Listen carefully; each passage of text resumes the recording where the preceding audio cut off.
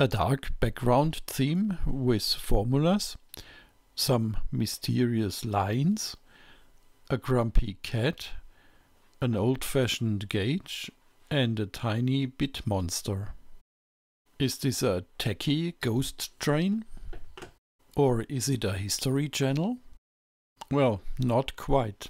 In this episode, I will disclose the secrets of the channel branding.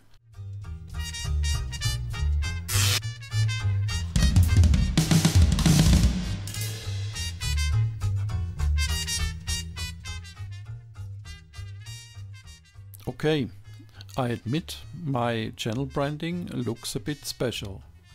However, each of the symbols and pictures has a certain meaning.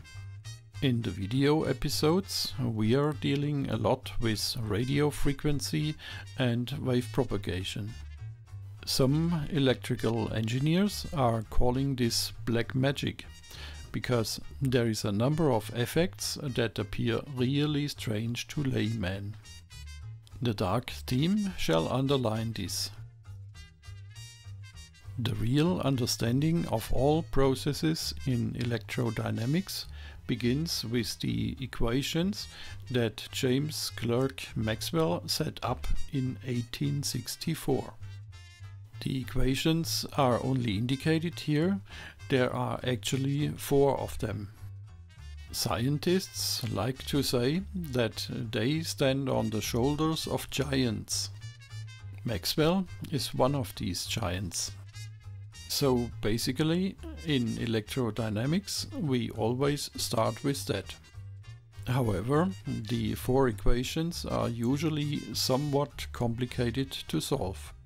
Therefore, there are a lot of simplified methods that are practicable solutions for electrical engineers to do their calculation for the analysis and the synthesis of electrical systems. That's one of the reasons why this channel exists. If we want to understand electronics, we don't always have to stir in the electrodynamics primordial soup. Electrical engineers often work with large gain or loss factors which they like to represent as logarithmic values in dB. The formula here is simply representative of many methods that we use in the tutorials. The weird curved lines are part of the so-called Smith chart which was published 1939 the first time. It is a fascinating tool that absolutely everyone involved in radio frequency engineering needs, even today. It hides two interesting secrets. The first is that you can use the math of complex numbers to represent impedances with resistance, uh, capacitance and inductance. This initially opens up an infinitely large plane of imaginary and real numbers in which the impedances can be represented. The second secret is that you can transform this infinitely large complex plane into the area of a circle and in such a way that the distance from a point from the center always corresponds to the reflection factor. If you understand that, it will help you more than any computer program. That's why it's part of my channel branding. Just as a hint, there is a lot of explanation material for the Smith chart available on the internet. The cat is my wife's office cat. She literally only comes to the office to sleep on some papers or on the computer keyboard. When she wakes up, she needs attention, petting and feeding. But she brings an incredible positive feeling of comfort and contentment to us humans. Talking about well-being, by the way, it helps the channel a lot if you like the video and subscribe the channel. The old-fashioned gauge has several meanings.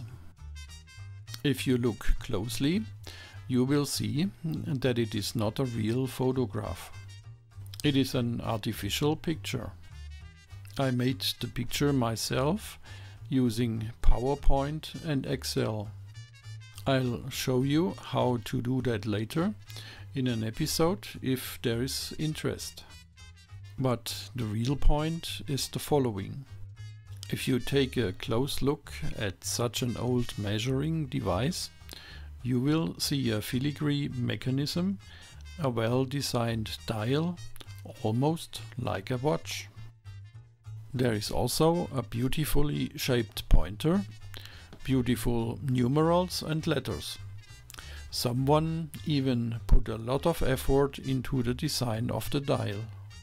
I often miss such a beautiful design with modern devices. And then please take a look at the value displayed by the pointer. It's 42 millivolts.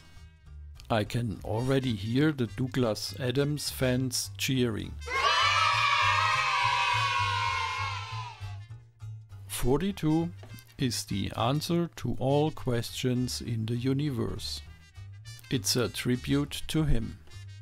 In case of further questions on the number 42, I recommend the novel The Hitchhiker's Guide to the Galaxy. It is the best science fiction satire I know. When you read it, you realize at some point that somehow you have already experienced yourself many of the things that are described there. The exaggerations are simply delicious. The Little Bit Monster has a little personal story for me. I created it myself many years ago to play a little prank on my colleagues. It was a very interesting and creative time in my life, which I look back on with great fondness. I talk about it in the creator's interview episode.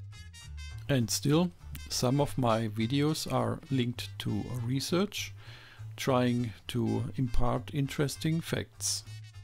But of course, there are many DIY ideas, the technical implementation of which I then show. It's often things that you can't buy, because doing yourself is the most fun in this case. Here is the logo. I wanted to give my channel a certain recognition value.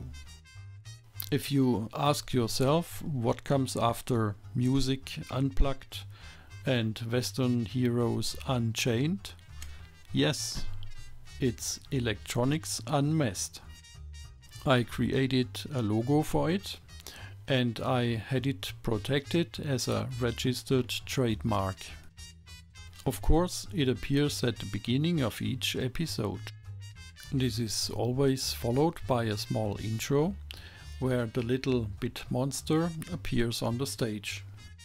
Meanwhile, I even refined it a bit. It shatters an electronic circuit diagram while it appears. But please don't get me wrong here. The content of the channel is 99% serious despite the fun logo and the intros. With my video episodes, I'm trying to create substantial quality content, which I derive from my know-how and experience. I want to impart some know-how, share some tools and tricks to solve electronics problems, etc. Even when my capabilities for video studio production are rather limited, I constantly try to improve it with easy means. But the priority will always remain on the quality of the content and not on the video perfection. This also fits to my personal tendency of understatement. Now, see you in the episodes. Now, stay tuned and don't forget to subscribe and support the channel. See you soon in the coming episodes.